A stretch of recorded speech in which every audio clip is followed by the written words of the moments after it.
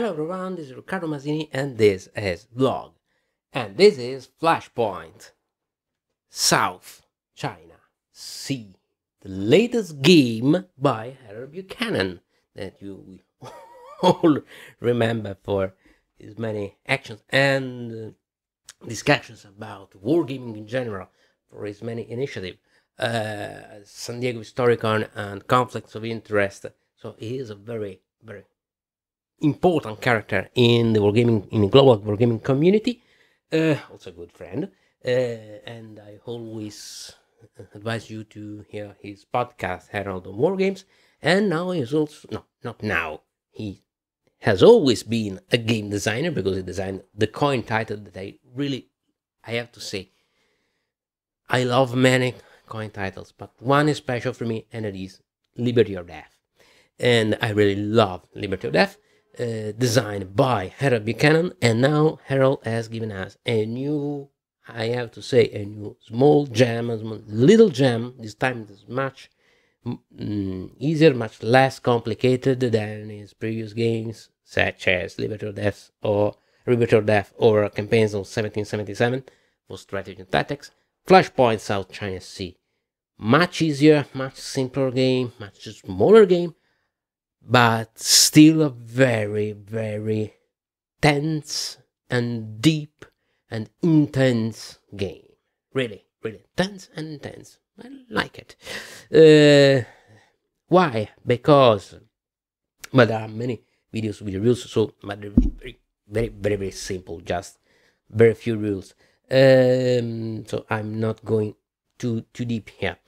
But this is a game that of course, it starts from uh, uh, previous title like 13 Days, but also like other titles of the Lunchtime series by GMT, such as Fort Sumter, and in a certain way, certain way, also Red Flag over Paris, but most of all Fort Sumter, uh, and 13 Days. But also there's a bit of 300 Earth and Water because you have different campaigns with small reset in each campaign, but also some stuff coming from Europe Divided. We have this open scoring system here. These are the scoring cards. You can activate them to a card, and that card gives you uh, victory points, and they are open for both players, which are USA and China, and the People's Republic of China, um, competing for influence over the South China Sea, the nations and the contested islands, and so on. These are victory point sources that are open to both players. So each can build their road towards one of those scoring cards. Uh, but the opponent will see your action. We see for example oh, why the american i am the chinese why the american is increasing his influence over the philippines? Maybe he has a philippine scoring card in hand. So i have to contain him here. But will it be true? Will it be true that he has a scoring card for the Philippines, or will he, will he have a scoring card for Vietnam? Etc. Etc. Etc. And all of these in many different dimensions, many different levels to take into account, such as the tension track, the possibility of different events, um, the use of your resources, the political warfare, and so on and so on very very interesting. Why am i am i speaking about so many levels? Because that is why. Each card can be used for four different ways. For the event to activate one of those scoring cards for operation points so all over the board or mode. Mode means that if you if uh, your opponent has just discarded a card associated with your faction and you have an card with the same symbol, you can reactivate that from the discard pile uh, for the event or for the scoring. So each must be very careful about what he discards. Uh, and so on and so on, placing influence uh, to uh, create the condition to activate one of those scoring cards to get victory points. Uh, but if you do stuff over the board, the tension will rise, so the cost of doing stuff will be higher. If it goes to critical, other stuff cannot be cannot be uh, ex other operations some, some operations can cannot be executed. So you have to lower the tension or you have to keep it critical because you don't want your opponent to do those operations. Operations are you can place influence or you can lock with political warfare, which has a particular uh, random resolution if the political warfare action succeeds. Well, if it succeeds, you can lock a country and uh, boot out your uh, opponent from that country, maybe because you have that scoring card, for example. Uh, but this ra raises the tension track.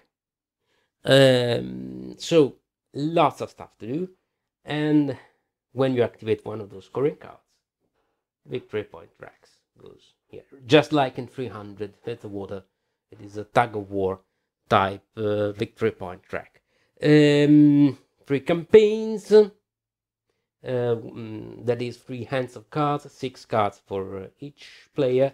And when those six cards are played, the campaign is over and can get to the next campaign. There is a bitter reset, but Chinese reclamation stands. Chinese reclamation that is the influence placed on those islands, on those contested islands, and uh, so one asymmetry. And uh, after the third campaign, after it's over the third campaign, you have one final round of scoring. So all the scoring cards are reactivated and they are executed. Um, so very very interesting. Oh, and in each campaign, when you score a card, you flip it. So, for example, in the, in the second campaign, okay, I scored Malaysia. No one can score for Malaysia once again.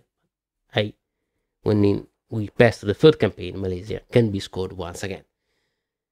So, as we see lots of stuff happening, the board changes constantly, lots of dimensions, but very, very manageable. It is easy to manage all this stuff, all these different uh, levels on which you have to operate. And this creates a believable model, a plausible model for the indirect confrontation between America and China over the South China Sea and the influence over all the countries and the contested islands there, both on the diplomatic and the economic uh, level.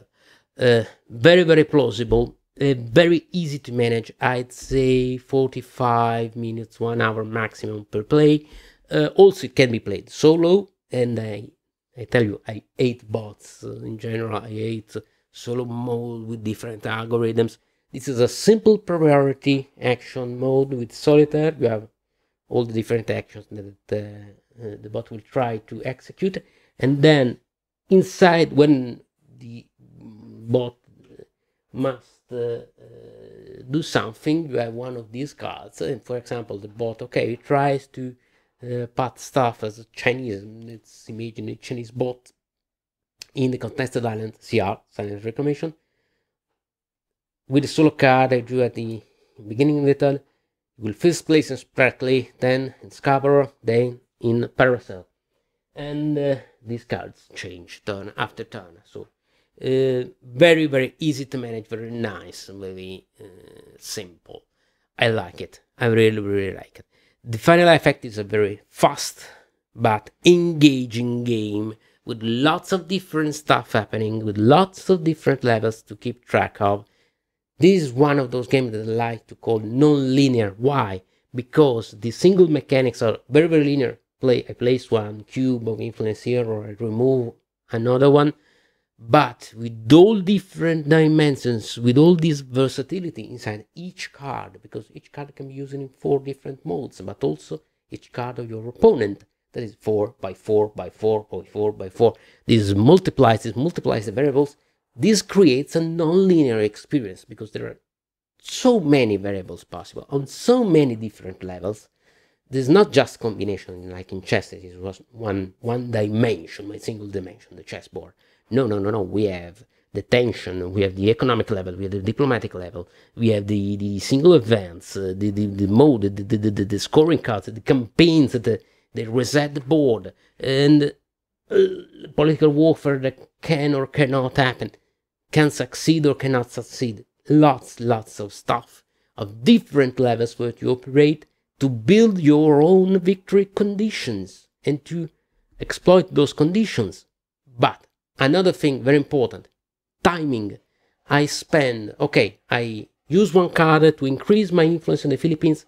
Okay, but before I have to score, Chinese, and American, the Chinese player has another card and that and he can lock the Philippines, for example, as we, we said before. And uh,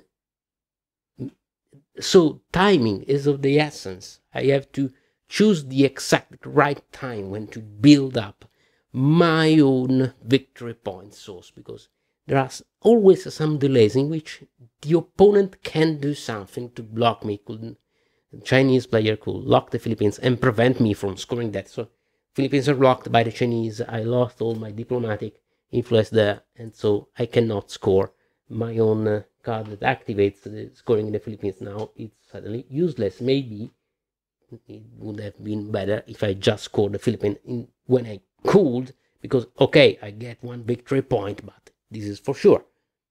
And so on and so on. Will the opponent understand my bluff? And when I am going to score Philippines, maybe he has another card that lets him score much more on another level. Wow. Wow, wow, wow.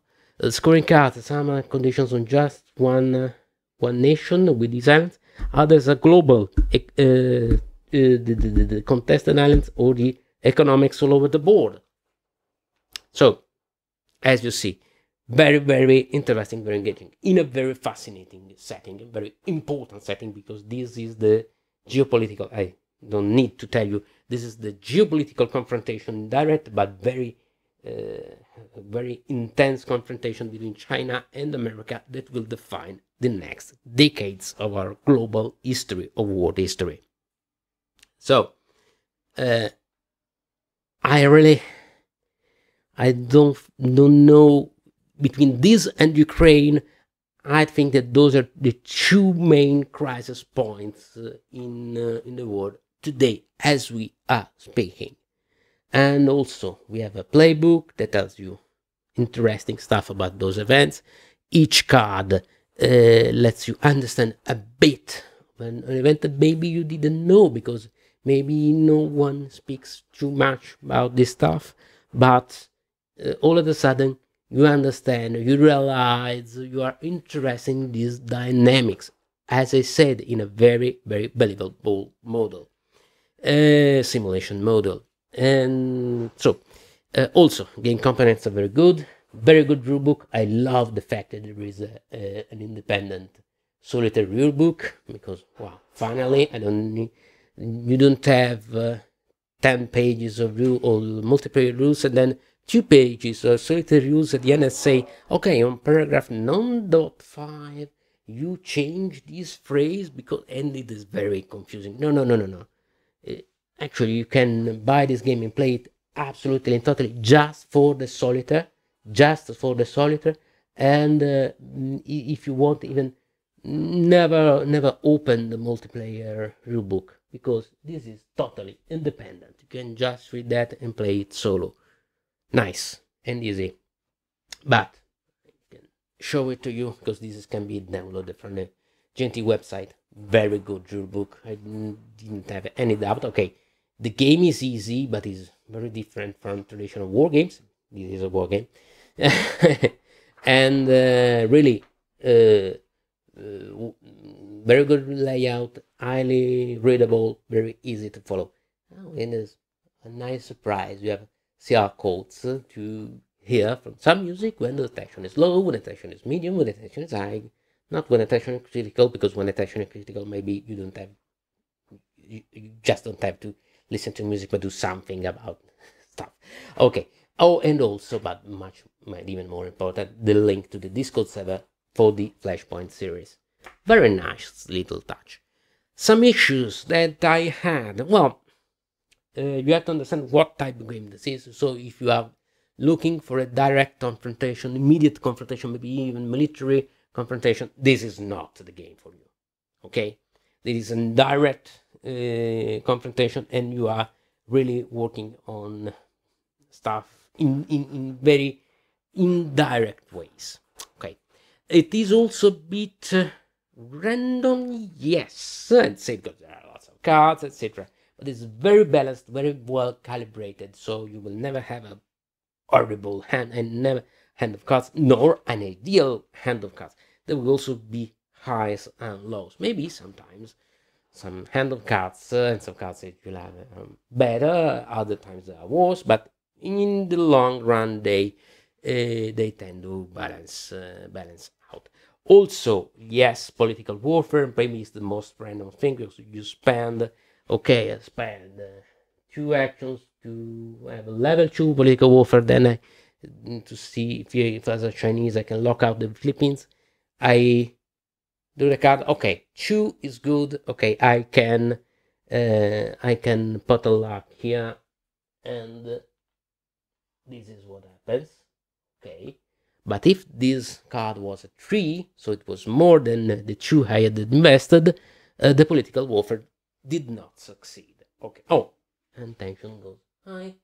Uh, okay.